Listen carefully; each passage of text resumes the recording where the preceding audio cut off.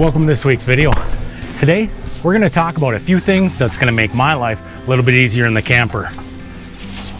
There's two things that always come to mind here in the truck camper that I could use more of. First, it's power. Whether it be a USB or a 12 volt power supply, I need more power. The other thing I need is more space. Let me show you what I'm thinking on that. I did a little bit of work to the dinette. Those of you that have an Arctic Fox, you know that this dinette is actually comes all the way out to here. A lot of people would use this backspace to hang garbage bags from. Well, I thought that it was just better without it. So now I'm gonna do the same thing over here. Let me show you why. A lot of times when I'm out camping, this is what it looks like. My slide's normally in. If I'm traveling, staying at a Walmart or a truck stop or a rest area, my slide's almost always in. And during the winter months when it gets super cold out, I can save a lot of heat loss by keeping the slide in. Right now you can see with the slide being in, that dinette, it's taking up part of the door. When I walk into the camper, first thing that gets in my way is this guy right here. I think we gotta get rid of it. The other thing I'm gonna do in this video is mount this 12 volt USB plug. That way I can put a pure sine inverter in here to charge my laptop with. And also I need more USB outlets and that's what this is. This is just a double 3.0 USB plug. We're gonna mount these in the kitchen. I'll show you guys how I do it. Keep in mind, I'm no professional. So here's what I'm thinking. The 12 volt plug, I put this down by the breaker box. The USB plug, I'm gonna put on the sidewall right here. That way I can set my phones on the counter while they're charging. Should be simple. Now that I got picked out where I wanna put the stuff, next step, drill the holes.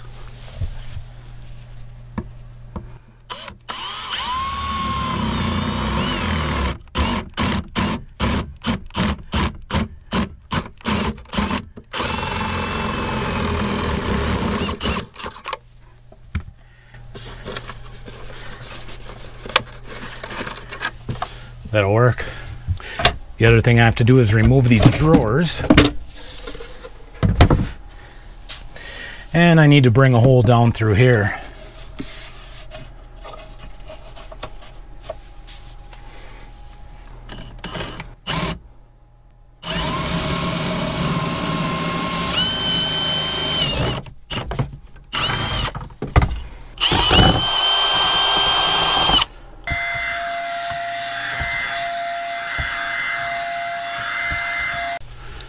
Let's see how these are going to fit.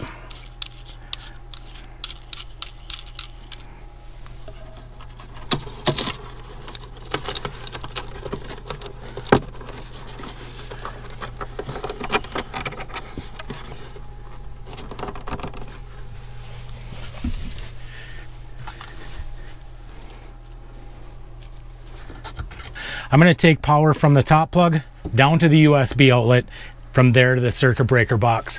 I'll show you guys how.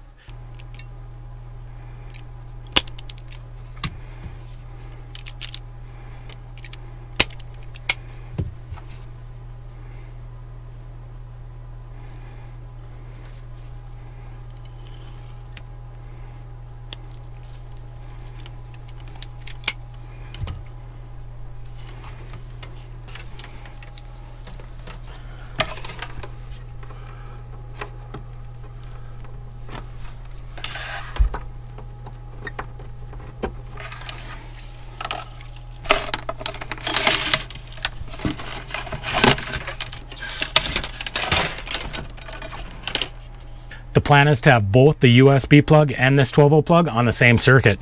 So what I'm going to use is this connector. What this is going to do is this is going to plug onto this 12 volt and it's going to give me two plugs. One of these plugs is going to feed up to the USB outlet. One of the plugs is going to go down to the circuit breaker box. Let's get this guy installed.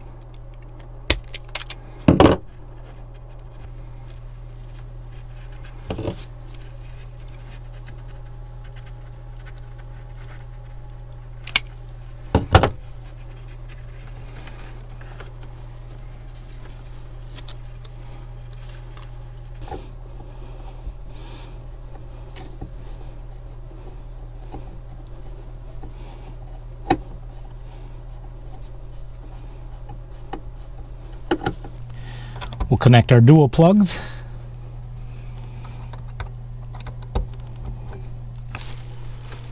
Our black is the positive. Our white is the negative.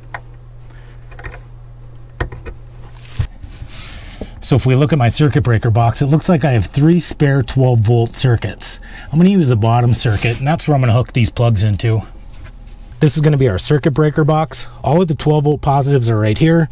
12 volt negatives are coming off this neutral line. What we're gonna do is we're gonna hook to the very bottom lug and that's gonna be that spare that we're looking at. The negative, it's gonna get attached up here. Let's get this done.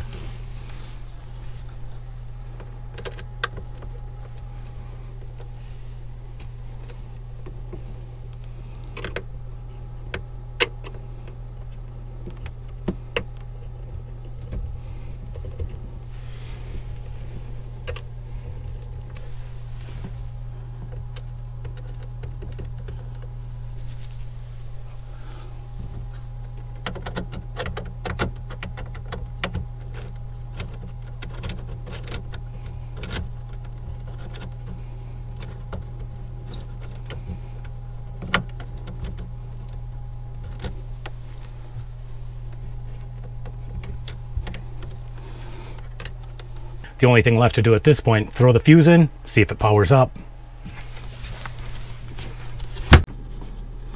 I'm putting a 15 amp fuse in there because that's what the wire's rated for.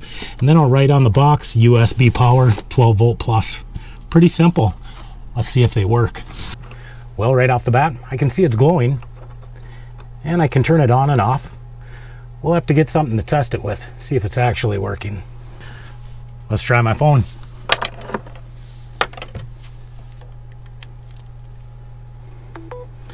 Perfect. All right, so the USB is charging. Let's check out that 12 volt power down below.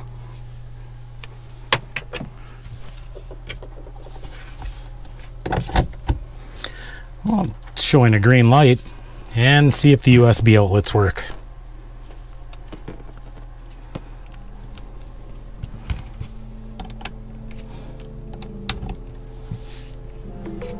Bingo, charging. All right,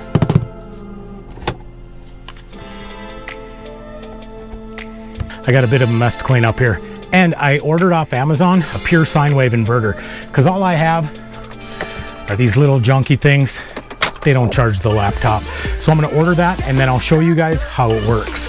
And we gotta get started on removing that dinette piece. I think it's time for me to turn the coffee pot on so we can have a little break.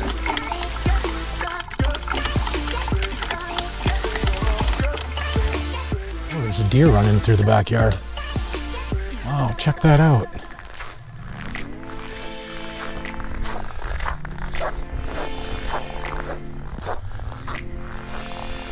Oh, look at that. There's a bunch of tails flashing back there. Even though I got that coffee in me, I'm not ready to tackle the dinette today. We're gonna do that, do that another time. I gotta go to work tomorrow. That's gonna be just in a few minutes for you guys. In the meantime, can you see that sunset? It's gorgeous. You guys want a better shot of that? Let me get you a better shot of that.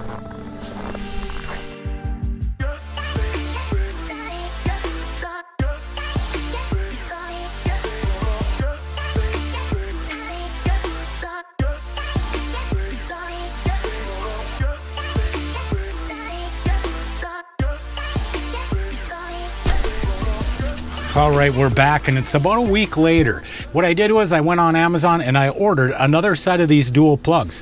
You can pick up the 12 volt plug or the USB plug for about nine bucks a piece off of Amazon, or you can buy this dual unit for $15. The 12 volt and USB plug works so well in the dining room that I'm gonna put this set here in the kitchen, just in case if I ever buy an appliance that uses the 12 volt plug. Let's fast forward through this and then I'm going to show you guys how well the pure sine wave inverter works charging my laptop.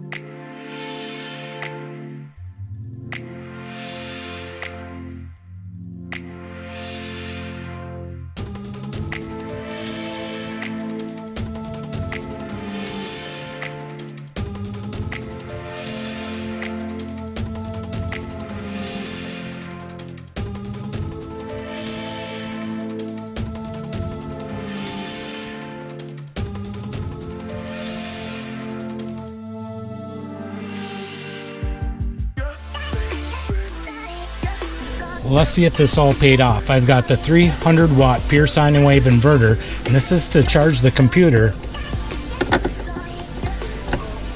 Let's see if it can do it. Green light came on. Let's plug it in. Well, that's a good sign. The light came on. Let's see what happens. There we go. It's charging. Perfect.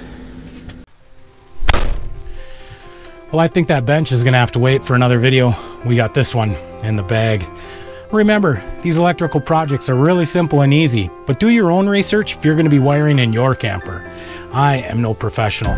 So until next week, be kind, be honest. We'll see you down the road.